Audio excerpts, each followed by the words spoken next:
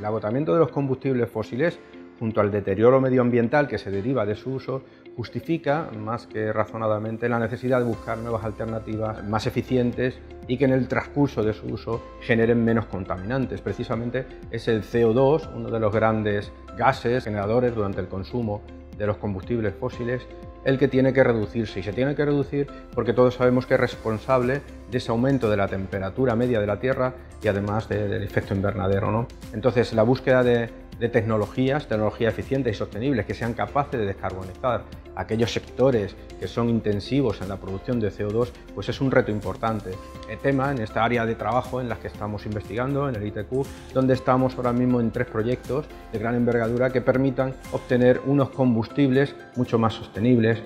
entrando ya un poco en lo que es estos proyectos en los que trabajamos aquí. Uno de ellos es un proyecto europeo, el proyecto LIFE en biodiesel, en el que estamos desarrollando biodiesel avanzado a partir de tecnologías catalíticas desarrolladas en el ITQ y usando un proceso con metanol supercrítico. De la novedad reside en que no se produce glicerina. En este caso también destacar que este es un consorcio que está formado por industrias, está formado por centros de investigación y universidades y que la Unión Europea le ha dado el sello de Key Innovator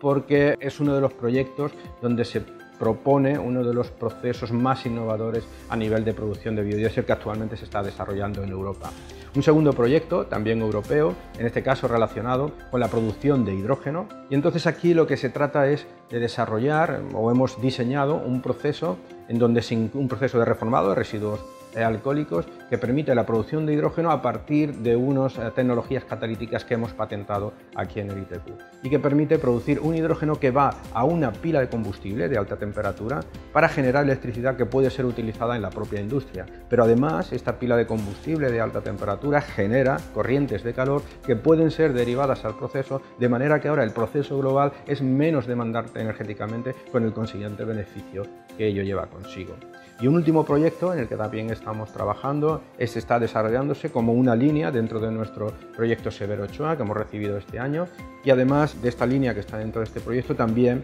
hemos tenido la suerte de recibir pues, financiación por parte de la Fundación La Caixa a través de una beca de doctorado que estamos trabajando en el desarrollo de catalizadores que son capaces de transformar el CO2 que forma parte del biogás en más metano, de manera que al final tenemos una corriente enriquecida en metano que simularía lo que sería el gas En este caso, las tecnologías catalíticas, la novedad que tienen es que son capaces de transformar ese CO2 que forma parte del biogás sin la necesidad de separarlo del metano del biogás. Lo que vamos a tener al final es una corriente enriquecida en metano que da un valor ya desde el punto de vista económico mucho mayor porque aprovechamos un residuo o aprovechamos un gas de efecto invernadero como es el CO2 para la generación de este metano.